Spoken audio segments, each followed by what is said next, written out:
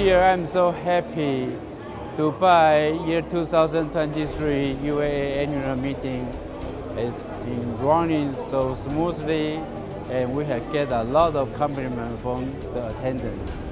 And this is the first time ever UAA can have an opportunity to cooperate with the Emirates Arabian Society to have this kind of wonderful event.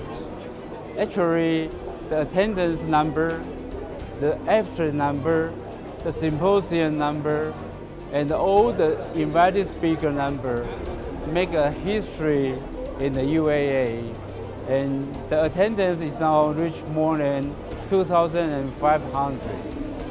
Through 30 years of development, UAA has been reached a maturing stage after this meeting, I believe.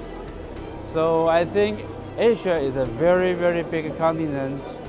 Different countries have different social, economic, cultural background. However, if we reach and secure our core value, why we establish, establish UAA is just trying to promote the patient care and education for urologists and paramedical associates related to urology in Asian area. Once again, I'm so pleased to see the success of this meeting and thank you so much.